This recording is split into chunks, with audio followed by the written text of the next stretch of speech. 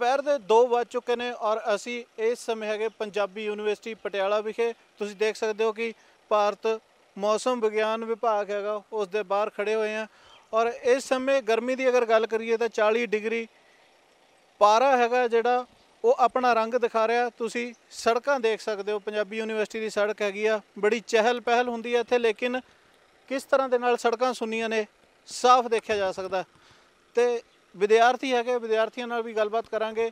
ਗਰਮੀ ਦੇ ਵਿਸ਼ੇ ਨੂੰ ਲੈ ਕੇ ਕਿ ਆਖਿਰ ਮੌਸਮ ਦੇ ਵਿੱਚ ਇਸ ਤਰ੍ਹਾਂ ਦੇ ਬਦਲਾਅ ਹੈਗੇ ਜਿਹੜੇ ਕਿਉਂ ਆ ਰਹੇ ਨੇ, ਕਿਉਂ ਇੰਨੀ ਜ਼ਿਆਦਾ ਗਲੋਬਲ ਵਾਰਮਿੰਗ ਹੈਗੀ ਹੈ ਜਿਹੜੀ ਉਹ ਵੱਧ ਚੁੱਕੀ ਹੈ। ਜਿਹੜੇ ਵਿਦਿਆਰਥੀ ਹੈਗੇ, ਉਹਨਾਂ ਨਾਲ ਗੱਲਬਾਤ ਸਾਂਝੀ ਕਰਾਂਗੇ। ਪੰਜਾਬੀ ਯੂਨੀਵਰਸਿਟੀ, ਪਟਿਆਲਾ ਤੋਂ।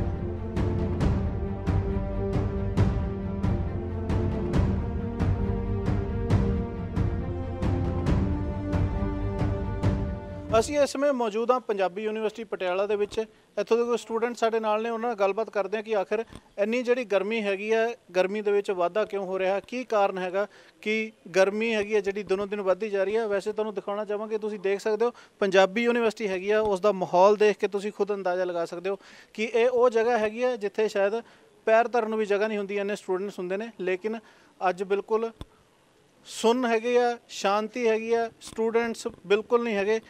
ਭਾਜੀ ਕੀ ਨਾਂ ਤੁਹਾਡਾ? ਕੀ ਕਾਰਨ ਸਮਝਦੇ ਹੋ ਕਿ ਇੰਨੀ ਜਿਹਦੀ ਗਰਮੀ ਹੈਗੀ ਆ ਵੱਧਦੀ ਜਾ ਰਹੀ ਹੈਗੀ ਆ ਟੈਂਪਰੇਚਰ ਦਿਨੋਂ ਦਿਨ ਵੱਧਦਾ ਜਾ ਰਿਹਾ? ਮੇਰਾ ਨਾਮ ਗੁਰਸਿਮਰਨ ਸਿੰਘ ਹੈ ਜੀ ਮੈਂ ਇੱਥੋਂ ਪਟਿਆਲਾ ਬਿਲੋਂਗ ਕਰਦਾ ਗਰਮੀ ਇਸ ਕਰਕੇ ਵੱਧ ਰਹੀ ਹੈ ਗੱਡੀਆਂ ਦਾ ਵਾਧਾ ਬਹੁਤ ਹੋ ਗਿਆ ਇੱਕ ਤਾਂ। ਦਰਖਤ ਬਹੁਤ ਕੱਟੇ ਜਾ ਰਹੇ ਨੇ ਤੇ ਪਾਣੀ ਦਾ ਤਾਪਮਾਨ ਬਹੁਤ ਥੱਲੇ ਜਾ ਰਿਹਾ ਇਸ ਕਰਕੇ ਧਰਤੀ ਗਰਮ ਹੋ ਜਾਂਦੀ ਹੈ ਤੇ ਥੱਲੋਂ ਨਿਕਲ ਜਾਂਦੀ ਹੈ ਭਾਫ ਤਾਂ ਗਰਮੀ ਬਹੁਤ ਜ਼ਿਆਦਾ ਵੱਧ ਰਹੀ ਹੈ।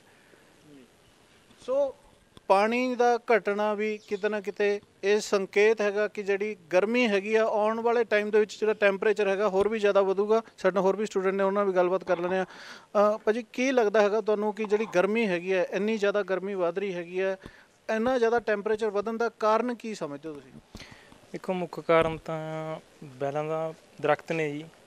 ਕੋਈ ਦਰਖਤ ਕੋਈ ਇਨਸਾਨ ਲਾਂਦਾ ਨਹੀਂ ਤੇ ਛਾਂ ਹਰੇਕ ਭਾਲਦੇ ਨੇ। ਵੀ ਅਸੀਂ ਛਾਂ 'ਚ ਬਹਿ ਜਾਈਏ। ਮੇਨ ਤਾਂ ਇਹ ਆ ਜਿੰਨਾ ਆਪਾਂ ਦਰਖਤ ਲਾਵਾਂਗੇ ਉਨੇ ਜ਼ਿਆਦਾ ਤਾਪਮਾਨ ਥੱਲੇ ਹੁੰਦਾ ਜਾਊਗਾ। ਹੁਣ ਬਾਹਰਲੇ ਮੁਲਕਾਂ 'ਚ ਦੇਖਿਆ ਜਾਵੇ ਤਾਂ ਦਰਖਤ ਬਹੁਤ ਜ਼ਿਆਦਾ ਨੇ, ਆਪਣੇ ਇੰਡੀਆ 'ਚ ਤਾਂ ਦਰਖਤ ਹੈ ਹੀ ਨਹੀਂ।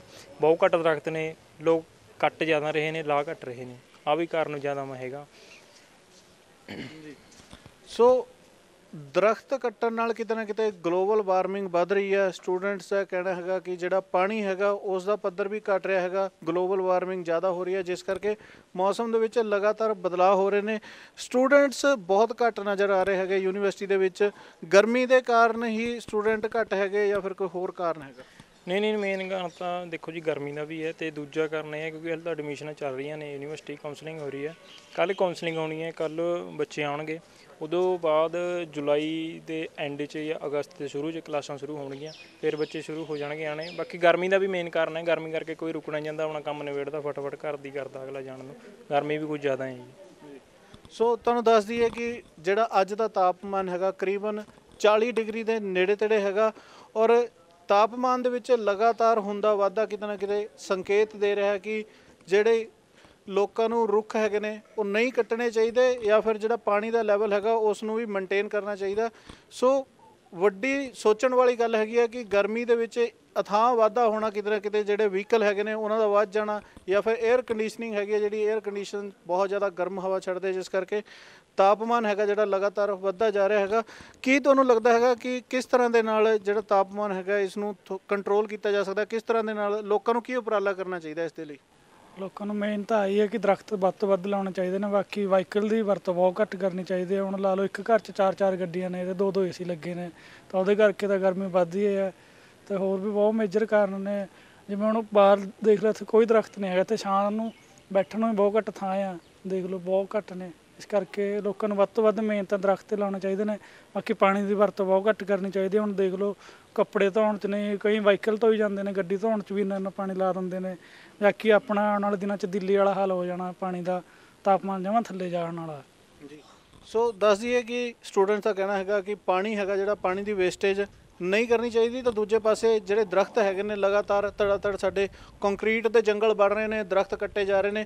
ਸੋ ਵੱਡਾ ਕਾਰਨ ਇਹ ਵੀ ਬਣ ਰਿਹਾ ਜਿਸ ਕਰਕੇ ਜਿਹੜੀ ਗਰਮੀ ਹੈਗੀ ਆ, ਉਹਦੇ ਵਿੱਚ ਲਗਾਤਾਰ ਵਾਧਾ ਹੋ ਰਿਹਾ। ਔਰ ਇਸੇ ਗਰਮੀ ਦਾ ਕਾਰਨ ਹੈਗਾ ਕਿ ਇਸ ਤਰ੍ਹਾਂ ਦਾ ਮਾਹੌਲ ਬਣਿਆ ਹੋਇਆ ਕਿ ਤੁਸੀਂ ਦੇਖ ਰਹੇ ਹੋ, ਜਿੱਥੇ ਸਟੂਡੈਂਟਸ ਦੀ ਚਹਿਲ ਪਹਿਲ ਹੁੰਦੀ ਹੈ, ਕਾਫੀ ਜ਼ਿਆਦਾ ਸਟੂਡੈਂਟਸ ਜਿਹੜੇ ਤੁਹਾਨੂੰ ਆਮ ਹੀ ਦੇਖਣ ਨੂੰ ਮਿਲ ਜਾਂਦੇ ਨੇ। ਅੱਜ ਉਸ ਯੂਨੀਵਰਸਿਟੀ ਦੇ ਵਿੱਚ ਬਹੁਤ ਹੀ ਘੱਟ ਸਟੂਡੈਂਟ ਨਜ਼ਰ ਆ ਰਹੇ ਨੇ, ਕਿਉਂਕਿ ਹਰ ਕੋਈ ਆਪਣਾ ਕੰਮ ਕਰਕੇ ਕਿਸੇ ਠੰਡੀ ਥਾਂ ਤੇ ਜਾਂ ਫਿਰ ਆਪਣੇ ਘਰ ਜਾ ਕੇ ਆਰਾਮ ਕਰਨਾ ਚਾਹੁੰਦਾ। ਸੋ ਕਿਤੇ ਨਾ ਕਿਤੇ ਜਿਹੜਾ ਆਉਣ ਵਾਲੇ ਦਿਨ ਹੈਗੇ, ਉਹਨਾਂ ਦੇ ਵਿੱਚ ਵੀ ਗਰਮੀ ਹੈਗੀ ਜਿਹੜੀ, ਉਹ ਵੱਧਦੀ ਨਜ਼ਰ ਆ ਰਹੀ ਹੈ, ਕਿਉਂਕਿ ਹਲੇ ਤੱਕ ਬਰਸਾਤ ਦੇ ਵੀ ਕੋਈ ਅਸਾਰ ਨਜ਼ਰ ਨਹੀਂ ਆ ਰਹੇ। ਪਟਿਆਲਾ ਤੋਂ ਕੈਮਰਾਮੈਨ ਅਜੇ ਦੇ ਨਾਲ ਅਵਤਾਰ ਗਿੱਲ, ਦੈਨਿਕ ਸਵੇਰਾ।